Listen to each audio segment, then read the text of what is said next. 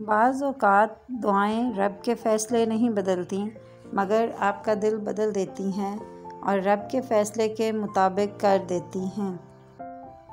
दिल का साफ़ होना कोई बुराई नहीं है और भूल जाना कोई बेवकूफ़ी नहीं है और ना ही मुआफ़ करना कोई कमज़ोरी है। खामोशी शिकस्त नहीं, बस ये तो तरबियत और इबादत है। हम सिर्फ़ पैसों में दिवालिया होने नहीं जा रहे, बल्कि तमीज़ किरदार हलाल इंसाफ अखलाकियात बर्दाश्त और इंसानियत में भी दिवालिया हो चुके हैं। लोग कहते हैं आदमी को अमीर होना चाहिए और हम कहते हैं आदमी का ज़मीर होना चाहिए। जो ताख़ीर रब की तरफ़ से हो वो हमेशा खैर लाती है। हर साबिर के हिस्से में बुशारत आती है और इस बुशारत से ज़रा देर पहले शैतान अंधेरा बढ़ा देता है। ये काम वह हर उस मोमन के साथ करता है, जो अपनी आजमाइश में साबिर रहा हो। गुस्सा और कानून दोनों बड़े समझदार हैं, कमज़ोर को दबा देते हैं और ताकतवर से दब जाते हैं।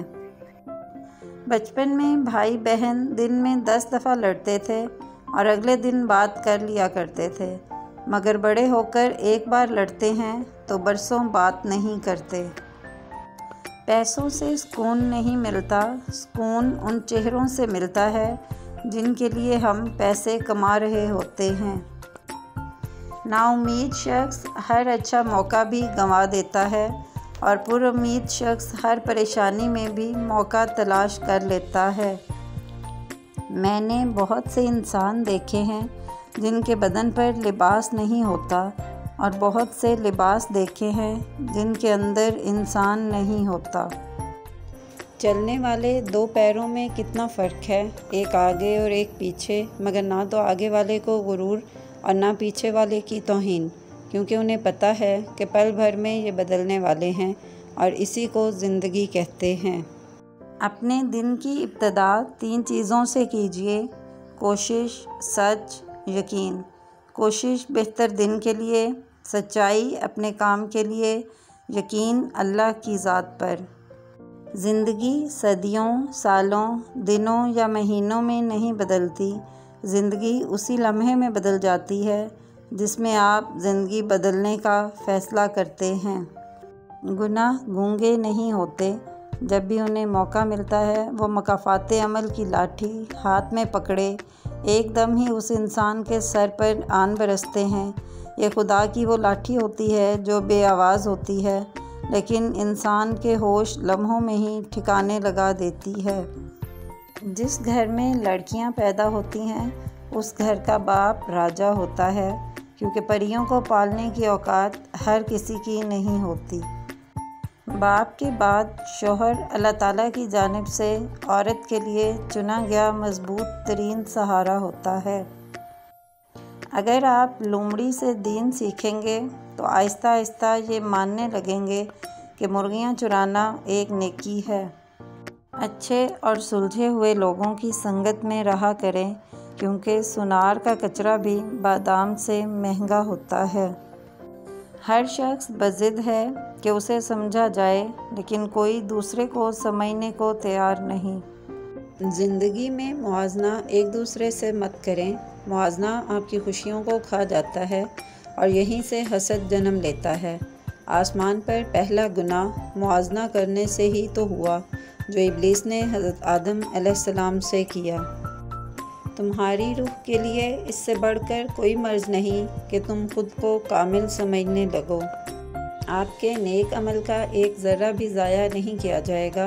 आपने किसी को सलाम किया हो या रास्ता बताया हो, किसी को अच्छा मशवरा दिया हो या किसी के लिए हदायत की दुआ की हो, महशर के दिन एक एक ज़र्रा, यहाँ तक कि आपके दिल के नेक इरादे भी आपके नेकियों के पलड़े में मौजूद होंगे।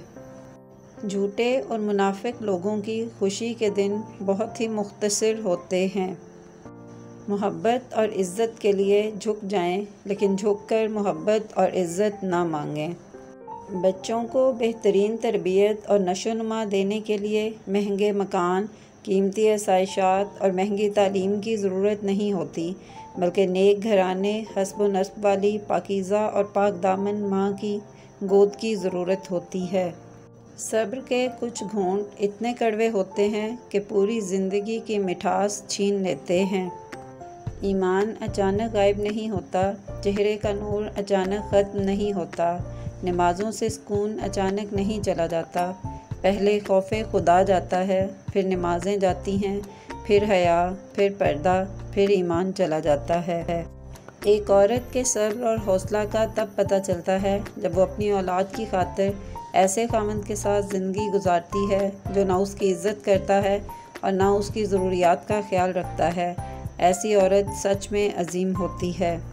अगर तुम ज़िंदगी के रास्ते पर कांटे छोड़ते जाओगे तो तुम्हारे पीछे आने वाली तुम्हारी नस्लें इसी रास्ते पर लहूलहान हो जाएँगी।